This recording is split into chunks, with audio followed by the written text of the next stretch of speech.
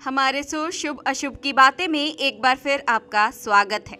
भगवान की भक्ति में हम खुद को कुछ इस तरह सौंप देते हैं कि क्या सही है और क्या गलत इस बात का भी ख्याल नहीं रहता।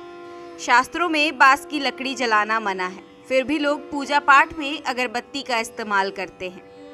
लेकिन क्या आप जानते हैं, बाँस से बनी अगरबत्ती से आपको हो सकती है धन और जन दोनों की हानि? नहीं ना? आज के एपिसोड में हम आपको बताएँगे कि पूजा पाठ में अगरबत्ती का इस्तेमाल क्यों निषेध है। शास्त्रों में पूजन विधान में कहीं भी अगरबत्ती का ज़िक्र नहीं मिलता है। सब जगह धूप दीप का ही ज़िक्र मिलता है। क्योंकि ऐसा कहा जाता है कि अगरबत्ती जलाने से पितृदोष लगता है। शास्त्रों में बाँस की लकड़ी जलाना वर्जित है।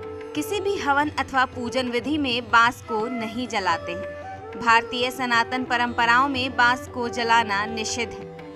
कहा जाता है, यदि बाँस की लकड़ी को जलाया जाता है तो इससे भाग्य और वंश दोनों नष्ट होते हैं और पितृदोष भी लगता है।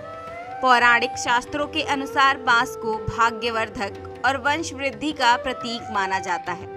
इसलिए हिंदू धर्म में बाँस से बनी अगरबत्तियों को जलाना निषेध है। शास्त्रों में अगरबत्ती जलाने की मनाही इसलिए भी है क्योंकि बाँस जलाने से दुर्भाग्य आता है और परिवार में सुख शांति नहीं रहती है।